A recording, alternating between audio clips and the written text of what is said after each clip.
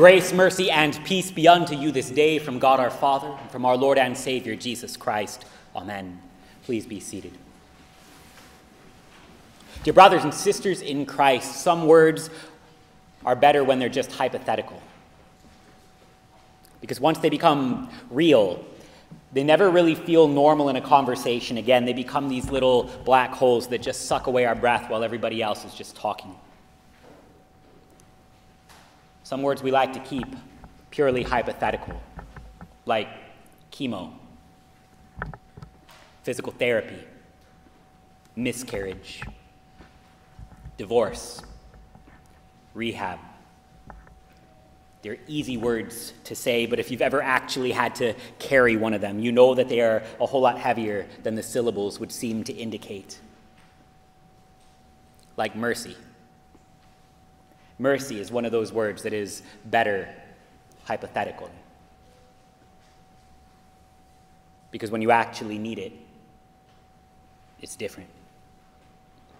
Not mercy like the little favors that we ask of people we could totally do ourselves, but we're lazy and it makes life easy. Not even the kind of mercy that we'll pay you back for down the road, the real mercy, the I need helps that are so hard to say that you can't even lift your eyes up kind of mercy, the face fallen kind of mercy, the shame that is so heavy that leaves you feeling so worthless that to even look up hurts.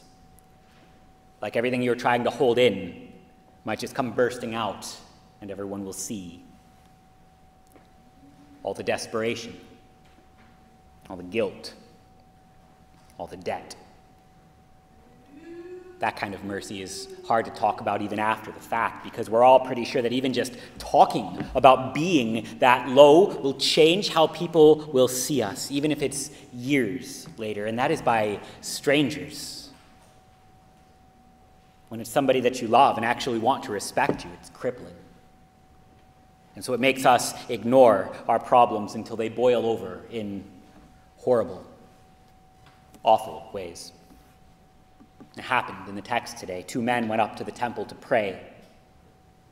The first man, God named Cain. And he offered up of his own hard work the fruit of the ground. The second man, God called Abel. He sacrificed the firstborn of his flock. And God was only pleased with Abel's offering. And we don't like thinking about that, so we usually just skip ahead until it's all too late and Abel's blood cries out from the ground so that we can learn, Thou shalt not hit people with rocks, as if you needed Christianity to understand that concept.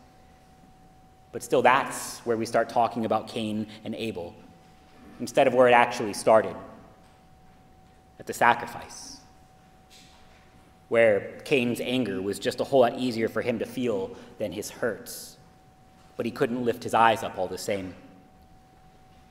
And the book never actually says why.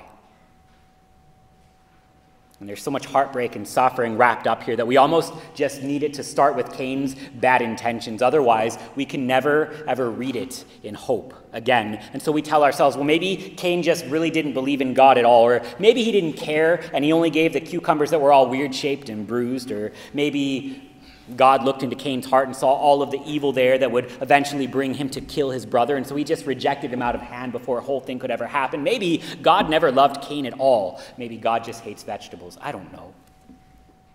Maybe we can't know. And that's the thing. That we just have to go through our lives wondering whether or not God will accept us wondering whether or not our half baked intentions to totally be better Christians this week will actually be enough, or if those little doubts that eat at us really only prove that they won't be. And the book never tells us why. But this sacrifice has everything to do with how you expect to deal with God. See, if Cain just didn't do his very best, what's that say about us who tied the same way? What's that say about us and all of our half mumbled hymns that we pretend to sing? Or every time you thought about food because the prayers took too long afterwards. Because, like, honestly, seven, Lord, in your mercy, hear our prayers is kind of excessive. Don't you think, Pastor? Like, we got places to be. It's a nice day. But the book doesn't say that. Still, some people just assume. And if Cain just had something hidden in his heart that God saw and rejected him because of it, we're still in big trouble because as deep as we bury our shame, we still know exactly where it is. And so does God. But the book doesn't say that either. If God never loved some of us at all, why bother? I'd be like sitting all of your kids down for dinner and telling them all, there's one of you I don't love, but I'm not going to say who, just to see how that shapes the family dynamic in the future. That's, that's probably healthy, right? But the book doesn't say that.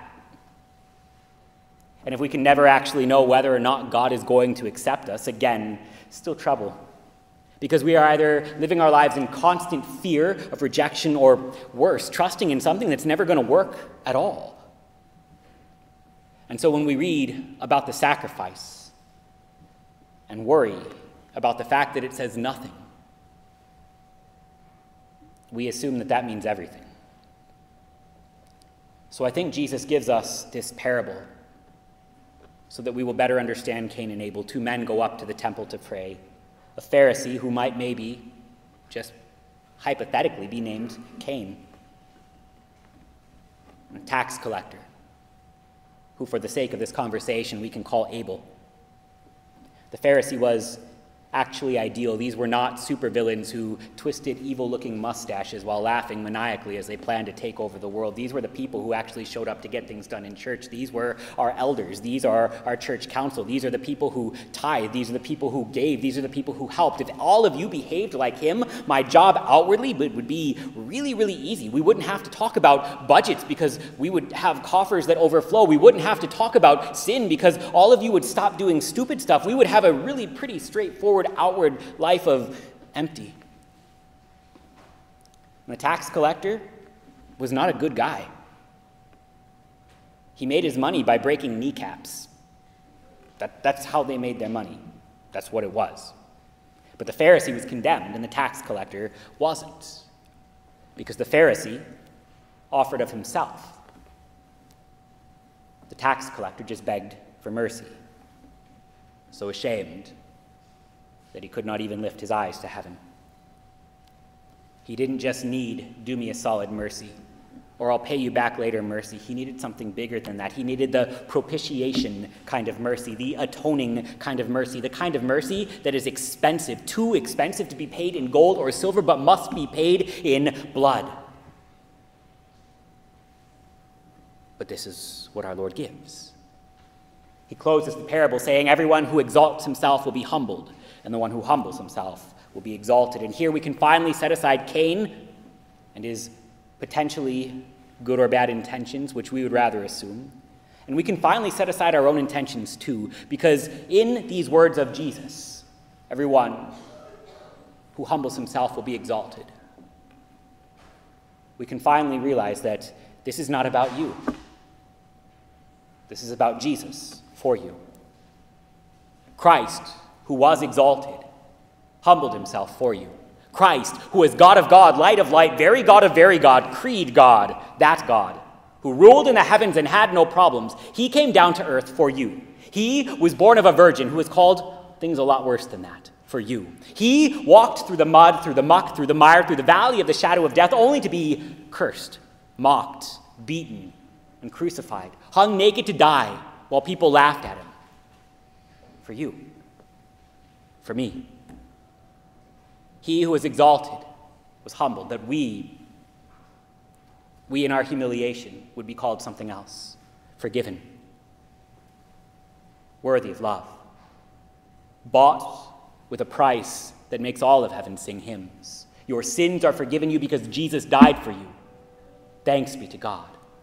You are the most precious thing walking this earth because him who didn't ever need to dwell here chose to do so just to redeem you.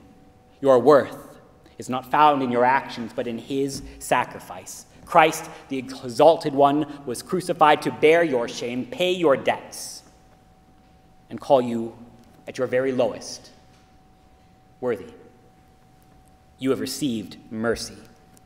You have received the kind of mercy that costs because Jesus paid it for you. That's our faith. We talk about it every week. And so, if you want to understand Cain and Abel, maybe talk about the same thing and not something different. Start with the cross.